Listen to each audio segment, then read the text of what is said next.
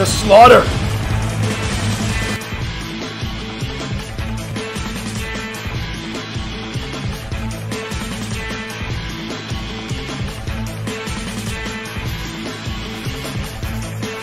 We got this match. The Tiger. We got Dub and Homie taking on the two-man tank. Dub and Homie are back. Oh shit! Insanity and VPD. Oh shit! It's gonna be crazy. And like I said, like I said, the new champ speaks. Ethan Quaseo, United Kingdom champion. Hope Sonic speaks on his big win. We got you see these things coming. It's gonna be a great time. Hardcore TV will continue next week with awesome Marco. Do I have a promo? I'm not I, sure. I. I, I, don't really care. Uh, Al Man and Fukugun are taking on Ken Shinura. This might be insane. I mean, I could tell promo right after. Ladies and gentlemen, shut the fuck up.